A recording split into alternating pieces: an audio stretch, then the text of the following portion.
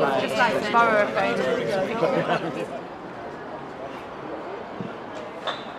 What we're publicising is Love Clean London, a brilliant new app that uh, Lewisham came up with. Richmond are now uh, driving forwards. We want to see it rolled out across London, and it enables you to take a photo of any litter, fly tipping, whatever you don't like, upload it onto your the, the Love Clean London app, and ping, it goes straight to the council offices.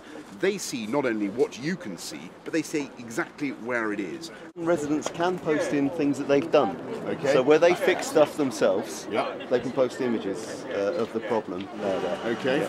So that's that's that's the handy opening. Yep.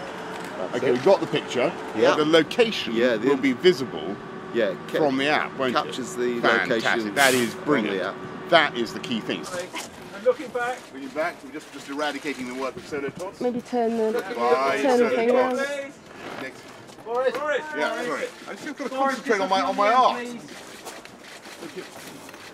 Hang on.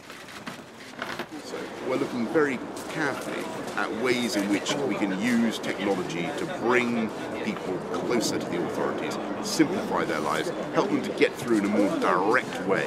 That's what we want to do across London.